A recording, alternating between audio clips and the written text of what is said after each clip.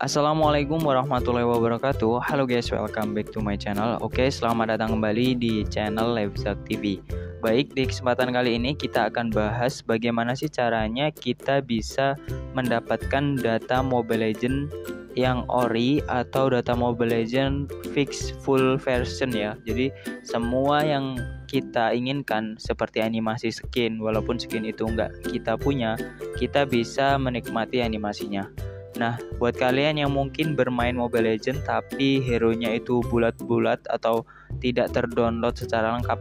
Jadi di sini saya akan bahas hal tersebut. Baik di sini tuh saya nggak memiliki aplikasi Mobile Legend ya, jadi saya download dulu. Jadi saya cuman download aplikasinya aja nih, ya. Nah, di sini saya cuman download aplikasinya aja. Untuk datanya bisa kalian download melalui link yang udah saya sediakan ya. Jadi gampang sekali untuk trik ini ya. Jadi eh, gimana Bang cara masangnya? Nanti sekalian kita praktek di sini karena di tutorial sebelumnya itu saya memberikan sebuah data Mobile Legends-nya saja.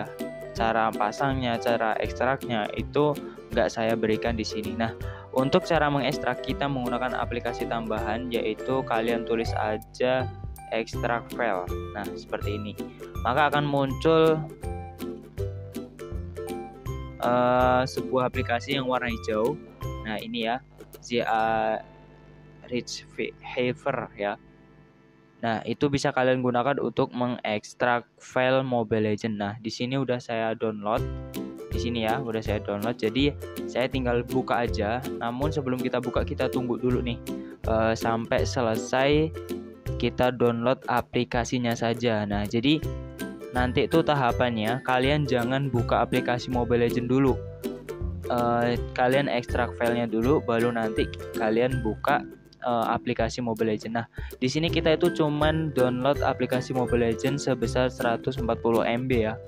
Di situ cuma 140 MB untuk datanya itu udah saya sediakan buat kalian yang mau download uh, data Mobile Legend original full version itu bisa kalian melalui link yaitu kalian linknya udah saya sediakan. Dan kenapa saya di sini?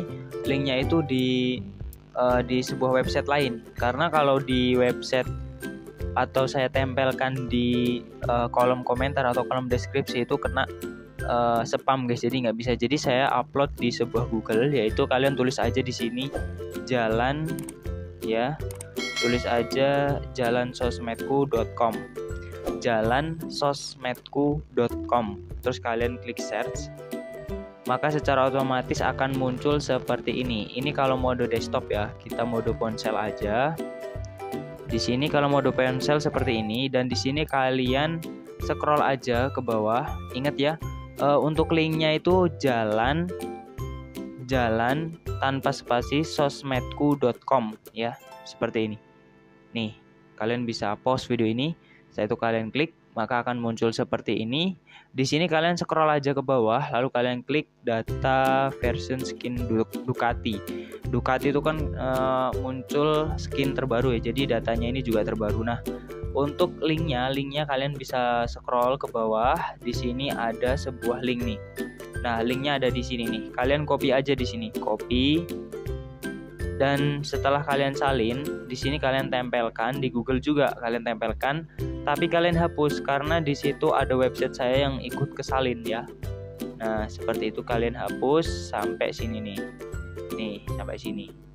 Kalian klik search atau cari, secara otomatis dia akan masuk ke sebuah uh, drive. Drive ini bisa kalian download seperti ini. Kalian tinggal klik aja di sini download maka secara otomatis akan terdownload dan eh, kenapa di situ saya sarankan untuk menghapus ya untuk menghapus karena kalau kalian salin itu tanpa menghapus nih. Saya contohkan sesuatu yang pasti kebanyakan salah nih orang.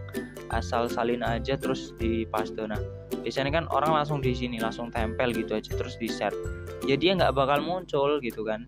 Uh, sebenarnya bisa muncul seperti ini cuman kadang itu ada yang salah. Jadi usahakan kalian cek dulu setelah kalian salin itu kan ada sebuah uh, tambahan website tuh tambahan link lah intinya. Nah itu kalian hapus saja thread setelah itu kalian cari. Nah jadi seperti itu ya.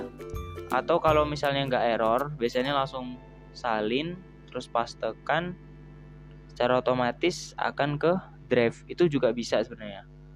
Itu nggak apa-apa.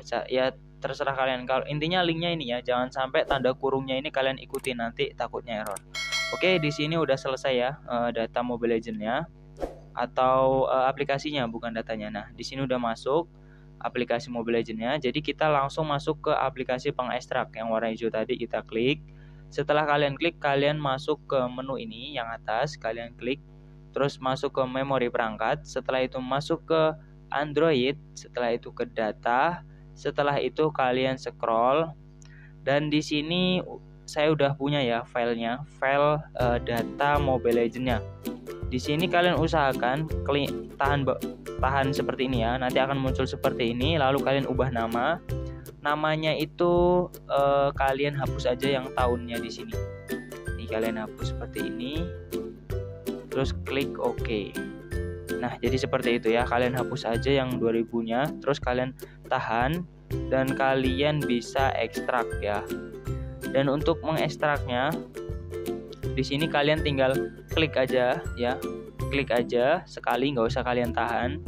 Karena kalau kalian tahan itu untuk mengubah nama. Jadi kalian klik aja, setelah kalian klik di sini kalian ekstrak di sini, kalian klik aja. Set, maka secara otomatis akan terekstrak. Nah, di tahap ini memerlukan waktu yang mungkin cukup lama karena data Mobile Legend tahu sendiri kan ya kalau full version full data itu pasti sekitar 6 sampai 7 giga giga gigabyte ya. Jadi saya akan skip di tahap seperti ini. Oke. Sekian uh, saya akan skip. Jadi kalian tunggu aja. Uh, baik guys, di sini udah selesai ya. Kita coba cek. Di sini udah kita ekstrak dan di sini file aslinya masih ada yang paling bawah. Cuman kalau udah di ekstrak di sini akan muncul seperti ini guys. Nah, nih, seperti ini. Dia ad akan ada logonya Mobile Legend. Itu tandanya udah nyambung dengan aplikasi yang kalian barusan download. Nah, setelah kalian udah selesai ekstrak, kalian boleh nih untuk dibuka aplikasi yang udah kalian download melalui Google Play Store. Nah, jadi intinya itu kalian ekstrak dulu sampai muncul logo file Mobile Legends-nya tadi yang saya gambarkan tadi yang awal itu. Dan kalian langsung login seperti ini. Nanti secara otomatis data yang uh, kita download secara terpisah itu akan tersambung. Dia tidak akan membuat duplikasi. Jadi gue sarankan sekali lagi uh, ekstrak dulu sampai selesai baru kalian buka aplikasi Mobile Legends-nya. Intinya jangan sampai kalian itu uh, ekstraknya belum selesai kalian langsung buka aplikasinya. Itu kan nanti akan membuat duplikasi uh, data Mobile Legends. Nah jadi gue sarankan ya gue tekankan sekali lagi agar ekstrak selesai sampai muncul logo file uh, data atau aplikasi Mobile Legends-nya itu dan kalian buka aplikasinya. Maka secara otomatis nanti akan terhubung. Nah oke okay, jadi di sini kita tunggu aja beberapa menit nanti akan ada pembaruan yang mana uh, file awal atau openingnya itu gambarnya mungkin berbeda tapi juga bisa sama karena sesuai dengan uh, servernya guys. Nah jadi nanti itu secara otomatis kita nggak banyak-banyak lagi downloadnya. Kita downloadnya itu cuman ya berapa MB lah untuk menghubungkan tersebut untuk mengfiksasikannya. Nah uh, kita tunggu aja di ini buat kalian yang baru mampir ke channel Live Jack TV ini gue sarankan untuk klik tombol subscribe like comment dan nyalakan loncengnya karena satu subscribe saja itu sudah sangat uh, berharga bagi kami guys untuk mengembangkan channel Live Jack TV ini Nah, jadi nanti uh, secara otomatis dia akan masuk seperti ini. Kalian klik confirm aja ya. Nah, jika udah selesai, nanti dia akan reload dan uh, mulai opening lagi uh, game Mobile Legends-nya.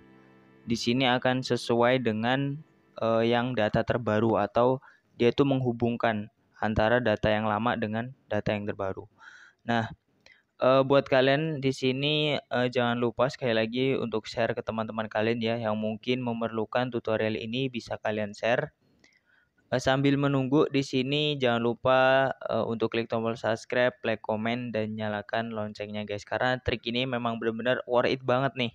Apalagi kalau kalian itu uh, mempunyai komputer atau laptop, kalian bisa nih download data Mobile Legend, lalu kalian uh, pastekan di komputer. Lalu kalau misalnya kalian mau menghapus, tinggal hapus tanpa datanya.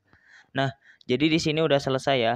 Selesai dan tampilannya itu masih Laila karena memang uh, Mobile Legend ini uh, sedang berganti-ganti untuk tampilan awal interface ini.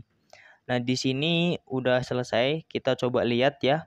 Coba lihat di download datanya itu lagi berjalan, tapi itu nggak lama kok guys, kar karena sebentar saja itu langsung selesai nanti. Udah saya uh, buktikan dan nanti kalian tinggal lihat aja uh, buktinya di sini karena nggak lama-lama itu udah selesai.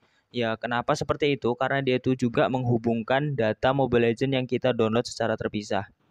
Dan di sini kalian juga bisa lihat bahwa di sini tuh uh, seperti ini udah terdownload ya kayak uh, apa banner atau bingkainya itu udah terdownload. Terus di sini kita bisa lihat ya di sini tinggal 2 per 5 Oke, jadi di sini udah selesai ya. Kalian bisa lihat tuh, udah centangnya udah dicentang dan di sini benar-benar selesai semua. Jadi cepet banget ya.